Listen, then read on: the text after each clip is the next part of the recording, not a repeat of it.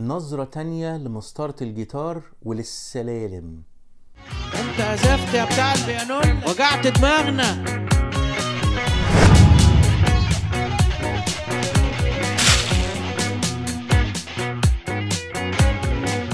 أهلا بيكم.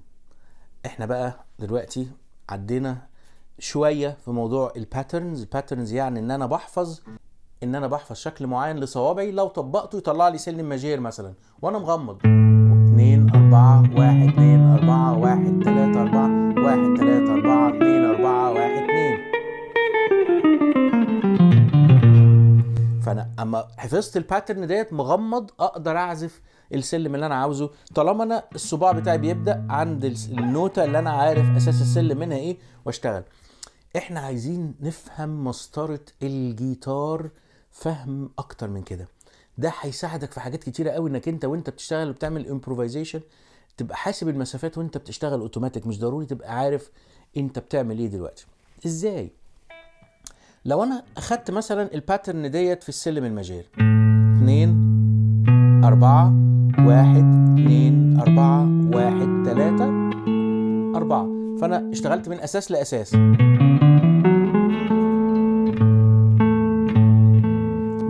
للأكتاف بتاعها. بالظبط كده سبع سبع نوت والتامنة بتاعتهم الأكتاف أنا ابتديت على الوتر السادس بالصباع التاني. بين أربع الأوتار الأولانيين اللي فوق خالص دول مسافة رابعة. كل واحدة منهم زي التانية مسافة رابعة حتى بنظبطهم على بعض بنظبطهم كلهم مع بعض. فلما باجي أظبط الوتر لا مثلا بحط ايدي على المي في الوضع اللا. واما أجي اظبط الوتر الري أحط إيدي على اللا يديني ري وما أجي اظبط الوتر السول بحط إيدي على الوتر الري فدول مظبوطين رابعة مع بعضيهم. يعني لو أنا بدأت في الوتر التاني مثلا وعملت نفس ال pattern لغاية الوتر التالت هيعمل نفس ال pattern صح. طب نجرب كده؟ أهو على الوتر الخامس حطيت الصباع التاني.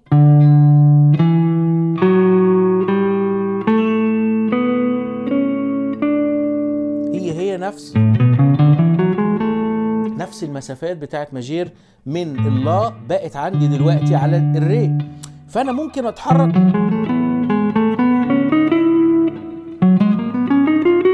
نفس السلم ال majeur اتحركت بنفس مسافاته بس على وترين مختلفين بنفس ال pattern بتاعتي. الله ده ال pattern ده أنا حفظنا أربعة خمسة. الأربعة خمسة دول غطوا لك المسطرة كلهم ده إيه كمان؟ كل pattern فيها جزء كل الجزء ده ما تكرره كل ما تعمل نفس ال pattern طيب لو أنا جيت بقى على الوتر التالت اللي هو أساسا مسافته ما بينه وما بين ال- الوتر التاني دي مش رابعة دي مسافة يعني يعني بتبقى رابعة ناقصة ناقصة نص تون هي مسافة رابعة ناقصة نص تون فلما باجي أظبط الوتر ال- السي بتحرك خانة بس ورا. على الصول. وبس من ال- الوتر ال- ال- التاني للأولاني رابعة كاملة برضو فبظبط الاثنين على بعض. لو انت بتعرف تظبط الأوتار على بعضيها هتفهم أنا بقول إيه بالظبط. فلما باجي أعمل بدل ما هعمل في الباترن ديت 2 4 1 2 4 هيبقى 1 3 لأن الوتر التانية يبقى تحتها على طول.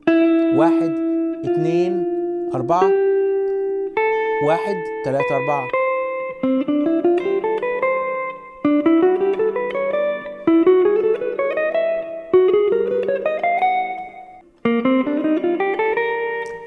مكان. هعمل منه ال pattern ديت هيطلع لي سلم majeur طالما أنا بحط على ال ال ال الوتر صباعي نمرة واحد واحد تلاتة واحد اتنين أربعة واحد تلاتة أربعة بس على الوتر التالت. فأنا ممكن دلوقتي ال patterns بتاعت ال ال السلالم بتاعتي تشعبت كتير قوي. كل وا- كل واحدة منهم أقدر إن أنا أعمل منها آه، سلالم من أي حتة في في ال- في المسطرة بتاعت الجيتار بتاعي.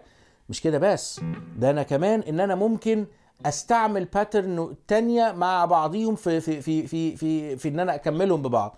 يعني ال pattern مثلا ديت أنا انتهيت هنا عند الدو.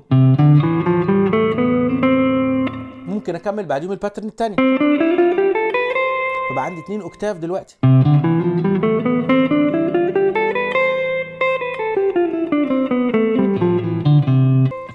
ممكن أبدأ من هنا. وأكمل هنا. فأنا دلوقتي بقدر إن أنا أدخل جزئين من patterns مختلفين على بعضهم من نفس السلم إن أنا أركبهم على بعض يطلع لي سلم ممتد شوية أكتر من من ال pattern الأولانية اللي أنا عزفتها ديت. فبقى الموضوع دلوقتي لازم نفهم إن مسطره الجيتار ديت مش بتتحفظ بس صم إنها patterns وخلاص. لا حاول تصحى شوية أنت فين من مسطره الجيتار لأنك بعد كده هتبتدي يعني تبقى عارف النوتة أنت عليها إيه.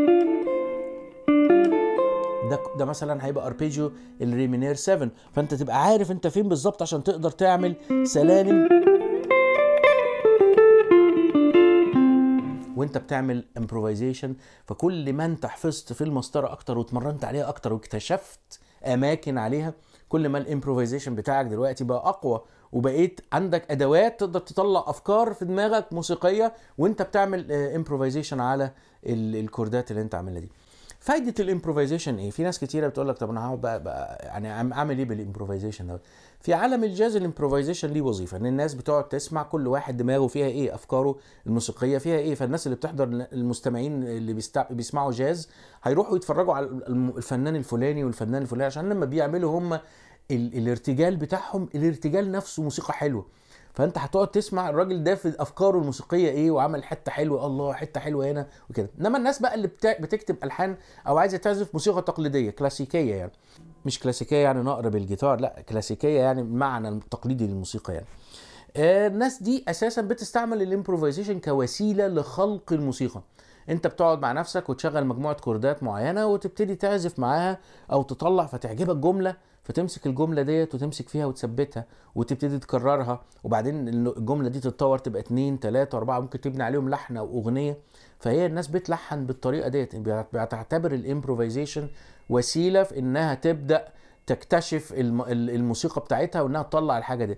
حتى تلاقي الملحنين الكبار لما بيجي مثلا يلحن أو حاجة يمسك العود ويقعد يدندن شوية كده بيقول لك بيتسلطن أو لا مش بيتسلطن حاجة هو بيعمل شوية improvisation لغاية ما يمسك في جملة هو عايز الجملة ديت. آه حلوة دي. آه جميلة. تمشي على الكلام اللي أنا اللي مكتوب لي دوت فيبدأ اللحن يظهر للعيان وكده.